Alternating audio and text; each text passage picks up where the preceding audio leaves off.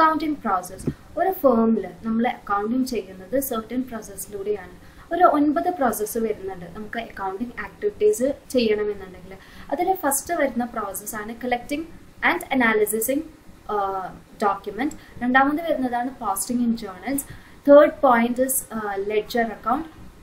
നാലാമതായിട്ട് ചെയ്യുന്ന പ്രോസസ്സ് ഏതാണ് trial balance and fifth process is adjustment entries സിക്സ്ത്തിൽ വരുന്നതാണ് അഡ്ജസ്റ്റഡ് ട്രയൽ ബാലൻസ് സെവൻത്തിൽ വരുന്നത് എന്താണ് preparations of financial statements and eighth വരുന്നതാണ് പോസ്റ്റ് ക്ലോസിംഗ് എൻട്രീസ് ആൻഡ് ഫൈനലായിട്ട് വരുന്നതാണ് പോസ്റ്റ് ക്ലോസിംഗ് ട്രയൽ ബാലൻസ് വീണ്ടും എന്ത് ചെയ്യും നമ്മൾ അതൊരു ഇയർ കടന്നു വരുന്ന സമയത്ത് വീണ്ടും ഈ ഒരു പ്രോസസ്സിനെ വീണ്ടും റിപ്പീറ്റ് ചെയ്യാണ് ചെയ്യുന്നത് ഇനി ഇതെന്തൊക്കെയാണെന്ന് ഡീറ്റെയിൽ ആയിട്ട് നോക്കാം